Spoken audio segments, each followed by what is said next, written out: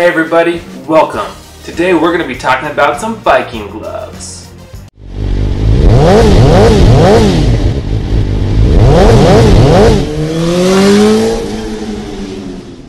Like I said before, we're talking about biking gloves today. First, we're going to talk about the ILM MAD 15 gloves. These gloves have a lot of built-in protection.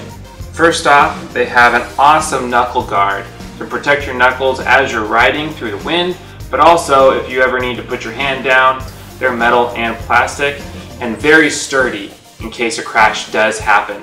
Next, there are rubber protectors on the top of each finger and a rubber protector on the palm of the glove to protect you in case of a crash. The inside of the glove has grip for those days where your handles are a little bit slippery and you need a little something extra to make sure that you can ride your bike safely and stably. The next aspect of this glove that's really awesome is the Velcro adjustment strap, which allows you to tighten or loosen your glove according to your preference. This glove also has an extension gauntlet on the end of it, which makes it perfect for riding in cold situations. You can have this gauntlet on the outside of your jacket or you can tuck it in your sleeve to make sure that you're warm as you're riding in the winter. This glove is simple in its design, but it's also very fashionable, so you'll always feel really cool as you're driving down the road.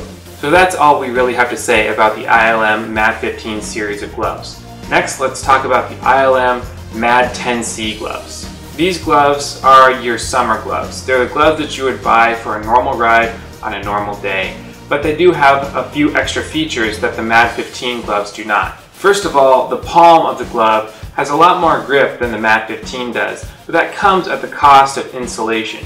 So if you're looking for a warm glove, you would still want to go with the MAD 15.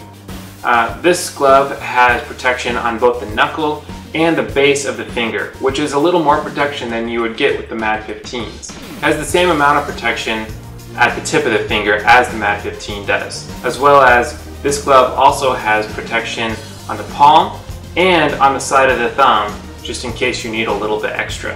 So that's a little bit about the ILM MAD 15 and ILM MAD 10C series of gloves. I hope you guys have enjoyed this video. We'll see you next time, and as always, ride safe.